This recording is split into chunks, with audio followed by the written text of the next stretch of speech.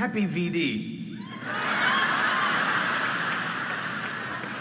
It was funny in junior high and it's still funny now. I was going to buy you chocolates, but I could only afford the penicillin.